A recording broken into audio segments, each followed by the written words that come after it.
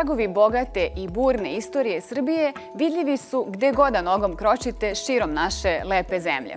O preplitanju zapadnih i istočnih uticaja na ovom prostoru svedoče i mnogobrojni dvorci, kašteli i letnjikovci. Ministarstvo kulture pokrenulo je projekat Dvorci Srbije.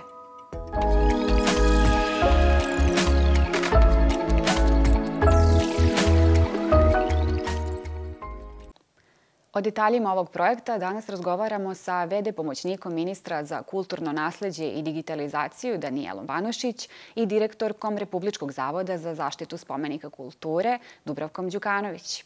Dobar dan i dobrodošli u RTS Lab. Dobar dan. Dobar dan.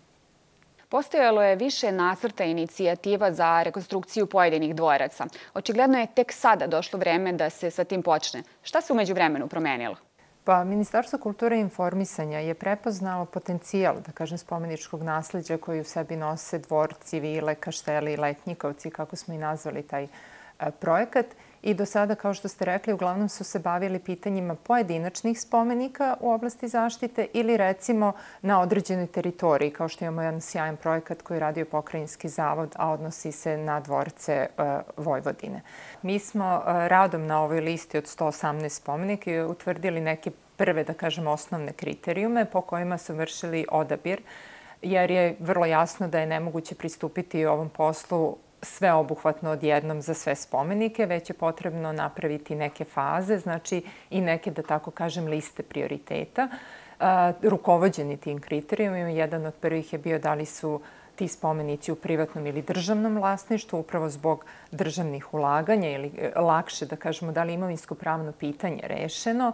Onda shodno tome smo gledali e, da li imaju namenu, e, zatim ukoliko imaju ili ne, da li je namena adekvatna i došli smo do zaključka da su u najlošijem stanju spomenici koji su bez namene ili čija namena nije adekvatna. Spomenici koji imaju namenu samim tim imaju i neku vrstu tekućeg održavanja, da tako kažemo, koje se sprovodi ili godišnje, kad su manje ulaganja, ili kroz neke više fazne, veća infrastrukturna ulaganja, I sad u zavisnosti od kom spomeniku je reč, neki su u zaista dobrom stanju, neki u vrlo dobrom.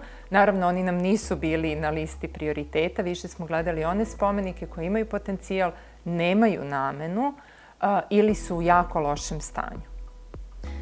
Dok sam istraživala o dvorcima, stekla sam utisak da su sačuvane osnovne informacije, kada i za koga su građani i ko ih je projektovao. Međutim, nedostaje detaljnija dokumentacija. Redke su fotografije iz perioda pre Prvog svetskog rata ili kasnije.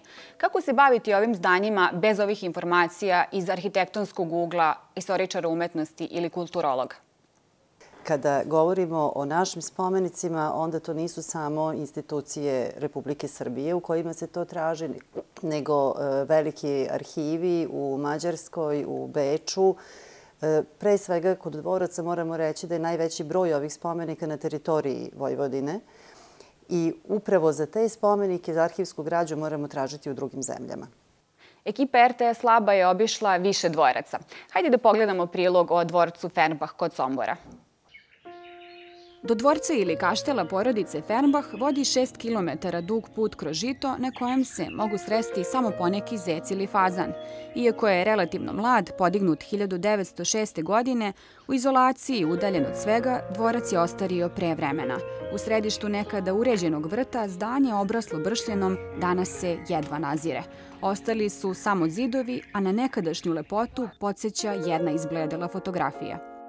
Porodica Ferbach bila je nemačkog porekla iz Zapatina i jedan uh, imućni žitarski trgovac Anton Ferbach uh, u drugoj polovini 19. veka postoje građanin Sombora, podigao je lepu, veliku uh, svoju jednospratnicu, današnju zgradu Gradskog muzeja u Somboru i nakon toga u Sombor su se naseljavali i drugi članovi ove velike porodice koja je krajem 19. veka dobila i plemički status od cara Franje Josifa. Karlo ili Karolj Fernbach sagradio je ovaj kaštel, koji nije bio poznat samo kao reprezentativno porodično zdanje u stilu secesije. Uređenje parka površine 10 hektara prepustio je svojoj supruzi, ljubitelju ptica i egzotičnog bilja. Gospodarica ovog dvorca Isidora Karačonj napravila je utočište za ptice na ovom posedu i smatra se da je ona naša prva žena ornitolog. Takođe bila je poznata po svojoj lepoti, pa su joj tepali baba, što na mađarskom znači lutkica. Oto da je ovaj dvorac u narodu poznatiji pod nazivom Baba Pusta. Unutar kaštela izgrađenog u stilu secesije bilo je mermerno stepenište, gipsani ukrasi na plafonu, kristalni lusteri, kamin – Sve je uništeno i pokradeno. Freske i ikone u porodičnoj kapeli u dvorcu išarane su i ispisane grafitima. Međutim, u park, koji sada podsjeća na prašumu, zahvaljujući Isidori Fernbach, naselile su se neke vrste sova i detlića, čiji se glasovi i danas čuju.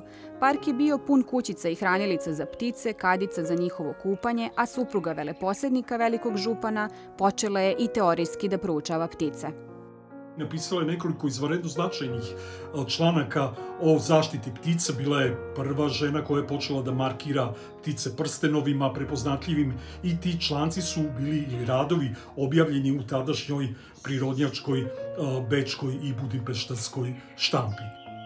Posle Prvog svetskog rata i agrarne reforme imanje je Ferbasima oduzeto. Preselili su se u Apatin gdje su u porodičnoj kripti i sahranjeni. Dvorac je neko vreme služio kao državno poljoprivredno dobro, ipak poslednjih 50 godina nema nikakvu namenu. Odnesen je i krov, pa je rekonstrukcija besmislena. Ostalo je samo čekanje da se konačno pretvori u prah mislim da nema tu mnogo komentara iz ovoga što smo videli kad pričamo o stanju ovog dvorca. E, to je za nas, kad posmatramo, bez obzira na njegovo trenutno stanje, i dalje jedan od bisera u celoj ovoj grupaciji e, dvoraca, letnjikovaca, kurija o kojima govorimo. Nažalost, on je u ovakvom stanju, međutim, ono što možemo, bez obzira na njegovo stanje, da konstatujemo, sačuvani su svi elementi na osnovu kojih je jednom velikom građevinskom kampanjom i konzervatorsko-restauratorskom kampanjom moguće vratiti sjaj ovom objektu. Ono što smo mi komentarisali dok je išao prilog, e, koja je namena tog objekta, to je zapravo kod svih ovih građevina ključno pitanje. Znači, adekvatne namene, adekvatno korišćenje i odgovarajuće upravljanje ovim objektima da bi oni mogli u, u daljem vremenu da žive. Imate li nešto vi da dodate? Pa konkretno za, za ovaj dvorac, eh, kada smo pravili listu ovog spomeničkog nasledđa. Naravno, jedan od prvih kriterijuma te selekcije, da tako kažem, bio je da vidimo šta se nalazi u, privatnom, u privatnoj, a šta u državnoj svojini, upravo iz razloga da predvidimo prve korake kako možemo pristupiti rešenju i ulaganju u te spomenike. I konkretno kod ovog spomenika radi se o privatnoj svojini. Na našoj listi, nažalost, vodi se kao vrlo ugroženi spomenik u nestajanju ali kao što je i koleginica e, Dubrovka rekla, e, to nije znak da on ne može da se e, revitalizuje i da mu se vrati stari sjaj. Jedna grupa naših istoričara umetnosti smatra da je besmislena rekonstrukcija pojedinih dvoraca koji se nalaze u delovima Srbije koji su slabo naseljeni. Da li je ovaj kriterijum uzet u obzir pri odlučivanju koji dvorci će biti rekonstruisani? Pa vidite, e, mislim, zaista ne znam na koje su oni spomenike konkretno mislili, ali s obzirom da današnje vreme nam govori nešto upravo drugačije. Ljudi vole svoje produžene vikende ili neke kraće praznike, pa čak i duže odmore, da provedu što dalje od gradova, što dalje od gužve i gradske vreve i samim tim se opredeljuju da u tim boravcima naravno imaju kontakt sa prirodom. To, ta udaljena mesta ili ti spomenici koji nisu, da kažem, u naseljenim mestima, mogu da budu i takako privlačni za posetioce i da budu deo turističke ponude. Dok sam snimala na terenu, često sam imala problem sa određivanjem nadležnosti i odgovornosti za određeni dvorac. Da li je to Republički ili Pokrajinski zavod za zaštitu spomenika kulture ili lokalna samouprava. Uglavnom su samo prebacivali odgovornost sa jednih na druge. Kako rešiti ovu zamršenu situaciju? Pa da, da vam kažem, ta je situacija potpuno jasna što se tiče nadležnosti. Republički zavod je nadležan za spomenike kulture od izuzetnog značaja. Pokrajinski zavod je nadležan za spomenike od velikog značaja i za teritoriju koju pokriva, znači prevashodno za teritoriju Vojvodine. Kada govorimo o opštinskim upravama ili o toj vrsti titulara, I tu je zakon jasan, znači vlasnik ili sobstvenik objekta je odgovoran za njegovo održavanje i korišćenje. Problem nastaje kod objekata gde titular nije potpuno e, jasno definisan, kod objekata recimo koji su u restituciji i kod velikih značajno oštećenih objekata gde njihova obnova, konzervacija i restauracija podrazumeva ogromna sredstva. Pogledajmo u kakvom stanju je dvorac Karačonji u Novom Miloševu.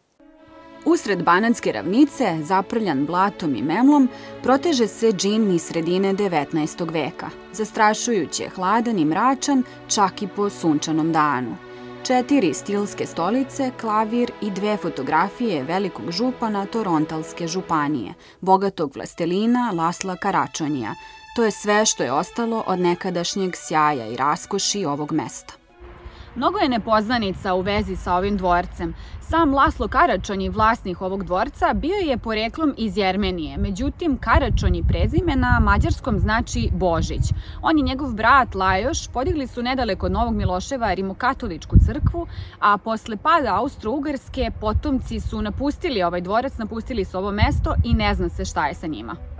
Posle odlaska Aladara Karačonija, praunuka velikog župana, u dvorac se useljava Belogardejac, nekadašnji predsednik Ruske dume, Mihajl Rozdjankov, koji je u dvorcu živeo sa poslugom sve do svoje smrti. Zatim, od početka drugog svetskog rata, počinje era u kojoj za dvorci aristokratiju nema mesta. Tokom rata je bio, služio kao duševna bolnica, nešto nakon rata dom za decu palih boraca, zatim dom za besprizornu žensku decu, e, kasnije nešto osnovna škola, ovde Miloš Popov i 80. godina otvara se hemijska industrija, odnosno fabrika hemijske industrije Hinom i e, fabrika odlazi pod stečaj 2000. godine otprilike i od tada je dvorac ostao bez namene i, u veoma lošem stanju.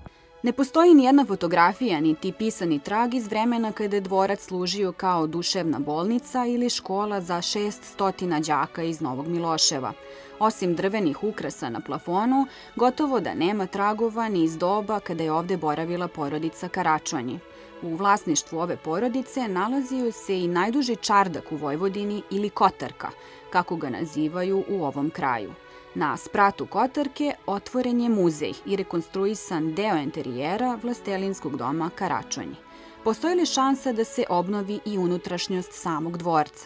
Mi za sada nemamo uslova i nemamo, nemamo para da sve ovo završimo, zato što je ovo jako veliki projekat, tako da to, to nam je, da kažemo, životni san. Samo ronuo iščupanog srca, nemajući da ponudi ništa osim nagih zidova, dvorac Karačonji i dalje stoji i dalje čeka svoje bolje sutra. Pre dve godine opština Novi Bečej u potpunosti je zabranila turističke obilaske ovog dvorca. Šta će biti sa njim, niko nije želeo da nam kaže, pa njegova onako malo poznata istorija tone sve dublje u zaborav.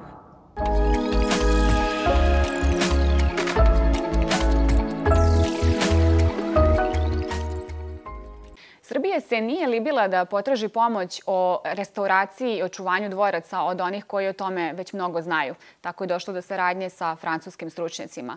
U kolikoj meri i u kojim tačno oblastima možemo da očekujemo pomoć i savete od njih? Biće nam veoma dragocena komunikacija sa kolegama iz Francuske, jer se zna da je služba konzervacije i restauracije u Francuskoj duga, da rade na izuzetno dobar način, tako da mnogo nam mogu pomoći upravo u definisanju planova upravljanja i davanju namene, ali ćemo se sigurno okrenuti i nekim zemljama u okruženju i videti kakva su tu iskustva. Mi imamo Mađarsku koja je neposredno do nas, koja ima nekoliko vrlo interesantnih modela oživljavanja dvoraca. Oni za e, velike objekte koji zaista jesu dvorci, imaju model vraćanja tih objekata velikim e, porodicama. Recimo, porodici ovaj, Karolji je vraćen dvorac na 100 godina. Njihova obaveza, država je dvorac obnovila, obaveza porodice je da u tih 100 godina zapravo svake godine ima određeni broj programa javnog, obrazovnog, edukativnog karaktera koji je usmeren široj javnosti. Znači, to su konferencije, predavanja, koncerti, raznorazni programi. Nakon 100 godina, po osnovu tog ugovora, će se doneti konačna odluka da li se dvorac vraća porodici, da li su postavili stabilan sistem da taj dvorac živi ili ga preuzima država. Drugi njihov model je kod privatnih dvoraca, recimo Sent Andraš dvorac e, koji je nekih 80 km od Budimpešte u potpuno privatnom vlasništvu. E, obnovljen je e, privatnim sredstvima, ali država sarađuje i to vrlo čvrsto sarađuje sa vlasnicom dvorca u kreiranju programa. Tako da različitih oblika postoji i svakako će nam saradnja sa kolegama iz okruženja, posebno sa, sa neposredno sa kolegama iz Francuske, puno značiti. Šta očekuju i šta mogu da nam ponude francuski stručnjaci specijalno za RTS Lab, reći će nam gospođa Agnes Sal iz Francuskog ministarstva kulture. Misija kulturne ekspertize u okviru Francuskog ministarstva kulture svojim inostranim partnerima. s jedne strane nudi podršku i savete u definisanju potreba, a s druge potporu u strukturiranju projekta Dvorci Srbije. Naše kolege iz Srbije obratile su nam se za saradnju i savete u vezi sa revitalizacijom i obnovom dvoraca, koji se u najvećem procentu nalaze na severu Srbije. Mi smo se vrlo rado saglasili da pomognemo kolegama iz Srbije i ponudili pomoć naših stručnjaka koji mogu da podele svoje iskustva sa njima, imajući u vidu viziju projekta i kulturno-istorijski kontekst dvoraca u Srbiji. Obratili smo se ekspertima u okviru Nacionalnog centra za zaštitu spomenika kulture koji su zaduženi za održavanje triumfalne kapije u Parizu, zamka Mont Saint-Michel, Svete kapele u Parizu. Takođe, za ovaj projekat sa srpskim kolegama angažovali smo i arhitekte istorijskih spomenika, kao i konzervatore kulturno-istorijskog nasleđa. Ova dva profila stručnjaka su neophodna jer oni posjeduju viziju kako obnova i revitalizacija samog mesta treba da izgleda. Takođe, oni mogu da pomognu kolegama iz Srbije u osmišljavanju načina da se podigne atraktivnost dvoraca, u jasnom definisanju ciljeva projekta, obrazovanju lokalnog stanovništva koje živi u okolini dvorca, ali mora da se radi i na razvoju turističke i kulturne rute u Srbiji.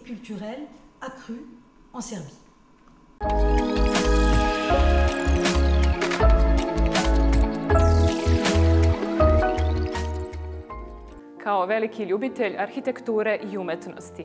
Njegovo veličanstvo, kralj Aleksandar I. Karađorđević, izgradio je svojim ličnim sredstvima dvorski kompleks, dragulj istorijskog nasleđa Srbije, koji čine dva idejno i stilski različita dvorska zdanja, Kraljevski i Beli dvor, kao i dvorski park, remek delo pejzažne arhitekture.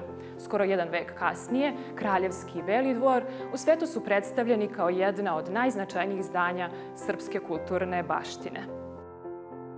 Šta je ono što privlači pažnju posetilaca? Pa to je upravo ta kombinacija mešavina istorije, kulture, tradicije, umetnosti koju je prožima ovo mesto.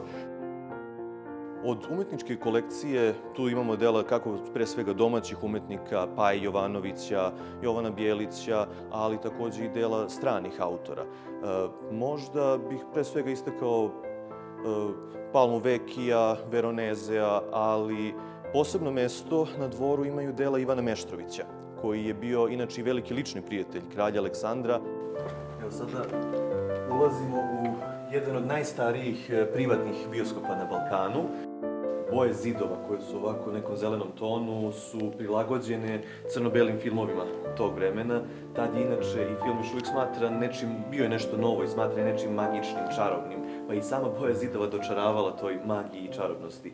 A, projektor je skriven iza ovog zida koji nije pravi zid, ovo je samo platno, a u donjem delu sale se nalazio paravan iza koga je bio klavir koji je pratio projekcije.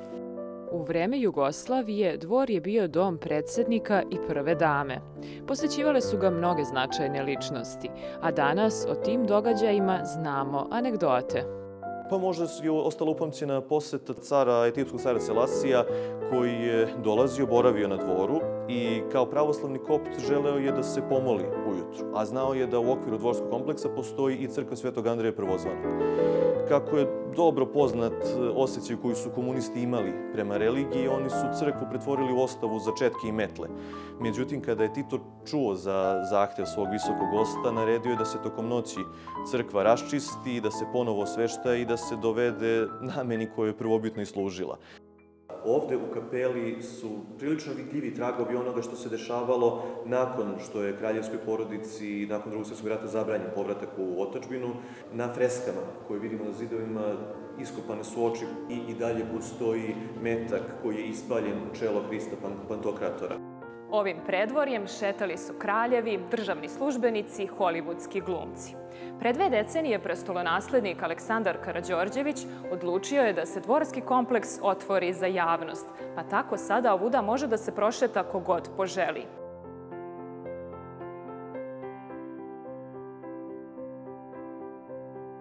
Kako se održavao dvorski kompleks u vreme kralja, a kako danas? Pa, razlika je pre svega u broju ljudi. Ranije, za vreme monarhije, to su bili zaista veliki, veliki broj ljudi koji je obsluživao ceo kompleks, jer uh, suština je bila, imali smo dve, imali smo dve kuće u to vreme, Kraljevu vojnu kuću i Kraljevu civilnu kuću. Danas je to slično, ali samo u manjem obimu. Imamo tu ljude koji naravno moraju da održavaju parkove, baštovane, ljude koji rade u kancelariji, koji dogovaraju sve ove događaje koji se održavaju ovde, koji jednostavno pomažu njihovim visočanstvima da sve ono što oni rade i zašto se zalažu može da, da funkcioniše i može da protekne uspešno.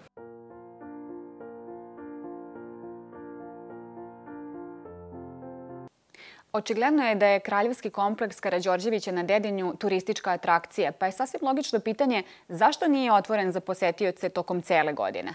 Dvorski kompleks na Dedinju od 2002. godine dati na korišćenje porodici e, Karadžorđević i njegova osnovna namena jeste reprezentativnog, odnosno rezidencijalnog karaktera. E, ishodno tome prilagođena je ta turistička ponuda, odnosno ture e, obilaska dvorskog kompleksa. One su usklađene sa turističkom sezonom, počinju 1. aprila, završavaju se 31. oktobra. Oni nemaju infrastrukturu galerije i muzeja, pa da vi imate mogućnost da imate posetu recimo 6 ili 7 dana u nedelji, kako god da prosto samo naiđete i da je radno vreme da obiđete kompleks. Koja su vaše očekivanja od ovog projekta i kada će prvi obnovljeni dvorac zablistati u svom punom sjaju? Ljudi koji rade u oblasti zaštite kulturnog nasleđa, stručnjaci i profesionalci, mislim da su uprko svim izazovima koje ova oblast stavlja pred njih, uh, u osnovi uh, vrlo optimiste I tako su im, da kažem, negde moje lično očekivanje, očekivanja Ministarstva kulture uh, idu u tom pravcu. Mi ne možemo odjednom rešiti ovo pitanje niti srediti sve te objekte, ali smatram da sam pristup ovom projektu odnosno sagledavanju ovog nasleđa kao jedne celine i traženju e, sistemskog rešenja za pojedine objekte je već dobar put i on će na neki način trasirati dalje korake u rešavanju ovog pitanja.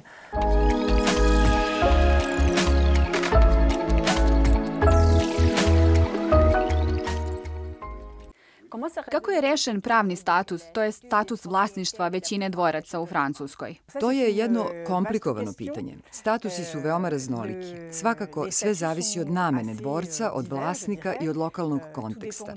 Oni se sprovode u zavisnosti od kontekstualnih podataka. Ne mogu vam odgovoriti precizno. Ne postoji jedno univerzalno pravilo. Možete li nam objasniti ulogu Francuskog nacionalnog centra za zaštitu spomenika kulture u projektu Dvorci Srbije? To je veoma značajna institucija u Francuskoj koja je osnovana 1958. godine. Danas ona nije direktno uključena u ovaj projekat, makar u ovoj etapi. Sasvim sigurno će biti, jer upravo ova institucija može da uputi kolege iz Srbije kako da razviju strategiju restauracije. Takođe, može da im pokaže kako da promovišu dvorce, to jest kako da da razviju nove, inovativne forme da bi privukli turiste. Kulturno i turističko oživljavanje ovih građevina bitno je za njihovo očuvanje.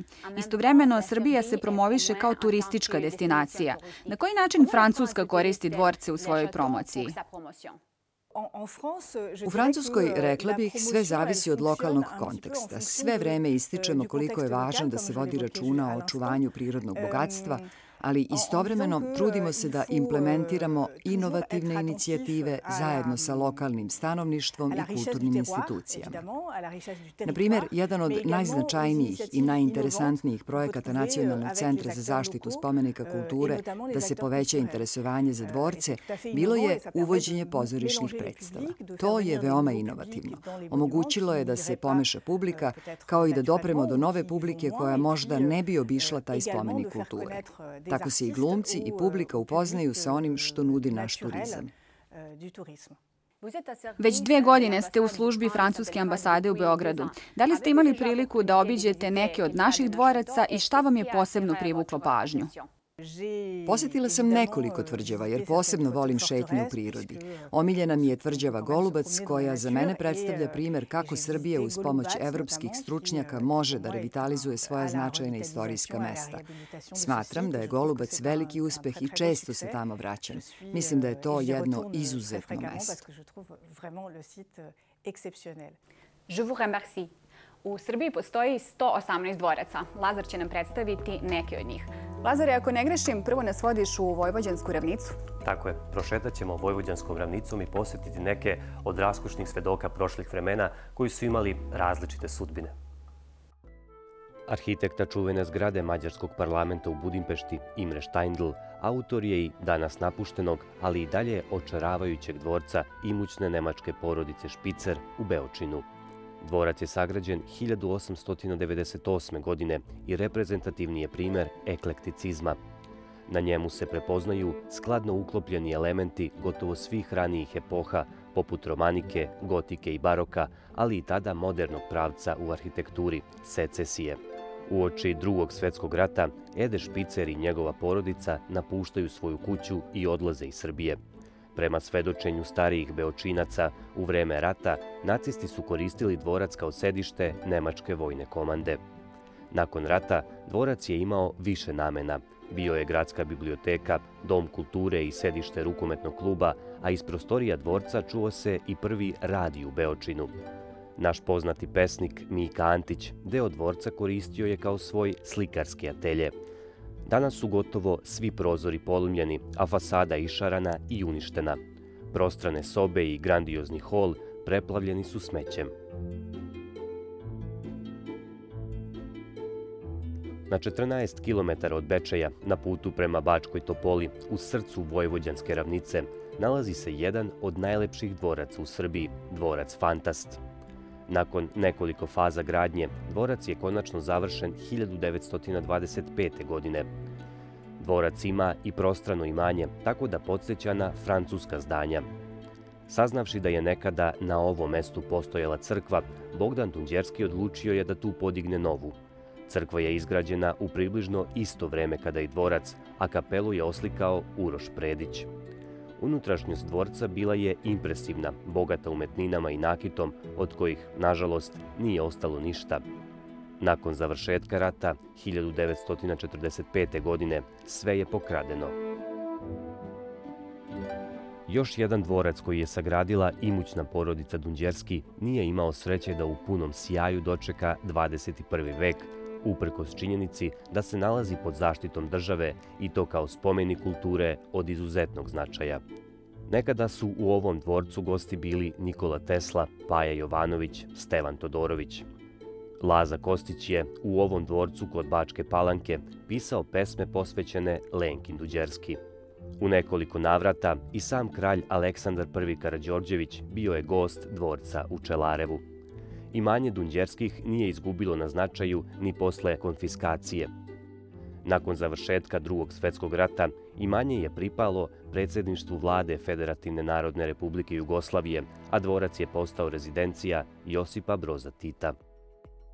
Hajde da napravimo malu paralelu sa stanjem dvoraca u svetu i kako se druge zemlje odnose prema svom kulturnom nasleđu. Lazare, koje primere si nam izdvojio? Pravi primer kako se treba odnositi prema spomenicima kulture je dvorac Mont Saint-Michel u Francuskoj. Sa skoro 3 miliona posetilaca godišnje, ostrvo Mont Saint-Michel u kanalu La Manche jedna je od najvećih turističkih atrakcija Francuske. Benediktinski kaluđeri su 966. godine na ostrvu osnovali manastir, čiju su izgradnju i život finansirale vojvode Normandije, a kasnije francuski kraljevi. Pored manastira, izgrađena su i dodatna manastirska zdanja, koja danas predstavljaju dragulj srednjovekovne arhitekture. Zanimljiv istorijski podatak je da su Englezi uspeli da osvoje celu Normandiju, ali nikada ovo ostrvo. A sledeća priča govori o kraljevskoj palati u Kazerti, koja je sagrađena za potrebe kraljeva Napulja. Bila je to najveća palata i verovatno najveća građevina u Evropi podignuta u 18. veku. 1996. godine palata u Kazerti je uvrštena na UNESCO spisak svetske baštine u Evropi, kao monumentalni kompleks koji je bio pokušaj burbonskog kralja Karla III. da oživi sjaj Versajskog dvorca i Kraljevskog dvorca u Madridu.